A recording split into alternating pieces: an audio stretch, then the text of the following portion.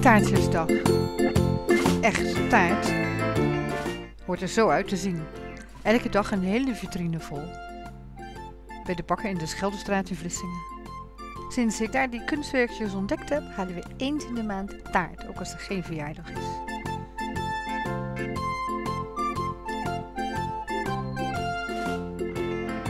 Als je dit ziet, dit is dacht ik met kokos en witte chocola.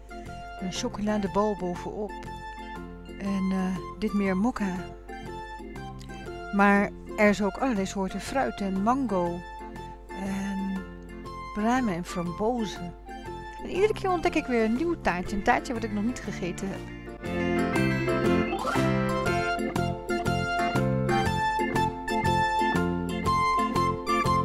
Dit was een klein feestje zonder verjaardag bij vrienden. Met z'n vieren vier mooie taartjes en een lekkere fles wijn op mooie schorreltjes met koekjes van bakker Kop. Ziet dat er niet prachtig uit? En dan hebben we ook nog een verjaardag. En dan een hele doos taartjes van bakkerkop. Chocola en dubbel chocola en frambozen.